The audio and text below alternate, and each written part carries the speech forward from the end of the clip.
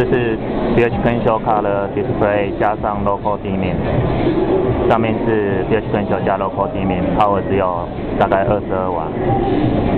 下面是 CCFL 背光，一般传统型，Power 感算线大概一百零五瓦。